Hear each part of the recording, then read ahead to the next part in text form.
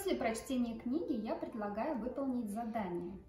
Э, разукрасить бабочку в технике рисования коктейльными трубочками. Для этого нам понадобится трафарет бабочки, который будет вложен у нас в рассылке, коктейльная трубочка, кисточка самая обыкновенная, акварельные краски, какие есть под рукой и водичка. Для начала мы смачиваем кисточку водой и размазываем водичку по бабочке. Чем больше воды, тем больше будет эффект рисования коктейльными трубочками. Если воды будет недостаточно, вы сейчас сами поймете, когда будет достаточно водички, когда нет. Вот я нанесла водичку.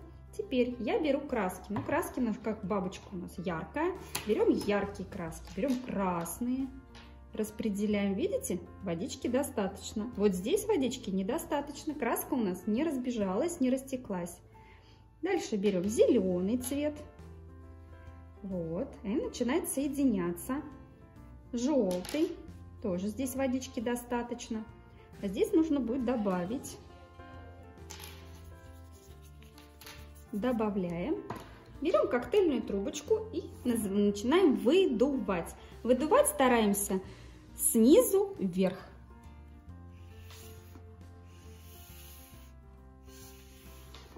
У нас должны получиться с вами такие прожилки. Вот у бабочки же есть разные прожилочки.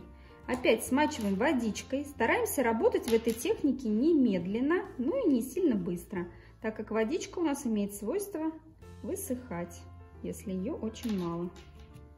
И начинаем смешивать.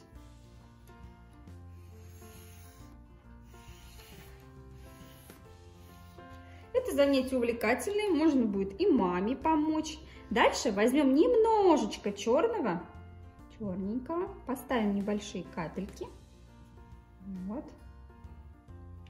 Видите, водичка начала действовать с краской.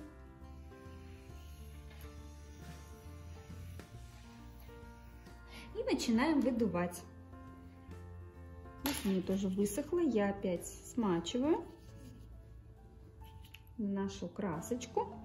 Видите, как красиво получается? Так, желтых капелек. Чуть-чуть синенького.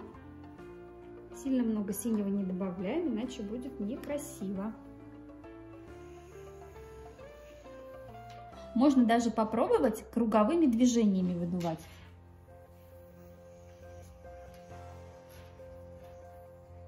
Наша задача, чтобы водичка распределилась по всей бабочке. Закрывая все-все границы. Ну и стараться, конечно, не выходить за трафарет.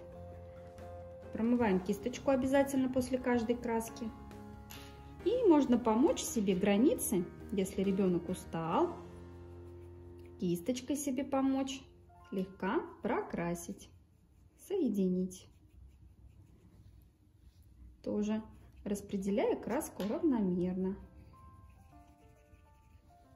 После того, как мы с вами закончим этот рисунок, да, если вам не нравится, вот здесь видите, крылышко бледненькое, добавим немножечко зелененького.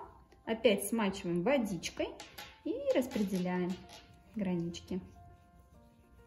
После того мы убираем с вами нашу работу сушиться она высохнет, но э, бумага может деформироваться. Поэтому предлагаю после того, как она высохнет, положить под толстую книгу, чтобы было ровненько и аккуратненько.